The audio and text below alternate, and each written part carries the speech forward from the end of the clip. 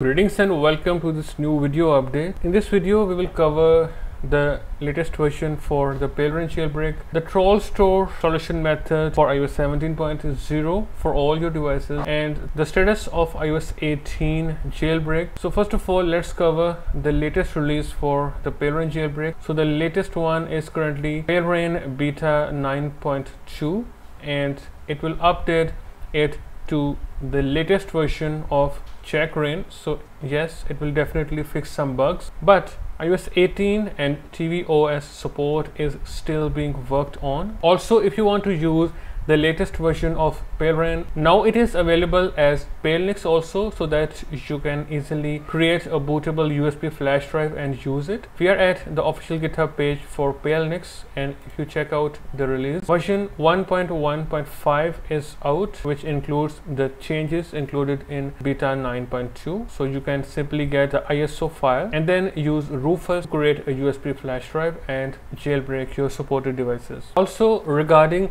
iOS 18 jailbreak only one device is supported that is iPad 7th generation and yes you can see it right here that it has been jailbroken but right at this time ElleKit or tweak injection isn't working but it will be fixed and you can see it right here iOS 18.0 and it is successfully jailbroken on iPad 7. For the looks of it, jailbreak for iOS 18 will be rootless. Also, as you can see in this screenshot, iOS 18 jailbreak is being fixed you can see. We have some changes to Pangu OS which will fix the BPR bypass on iOS 18 next the important update. So guys if you stayed on iOS 17.0 on any device on all your devices a legitimate installation method for TrollStore has finally been found and it will take a while to be released so please stay put on iOS 17.0 if you want TrollStore. Also, if you want TrollStore on iOS 16.7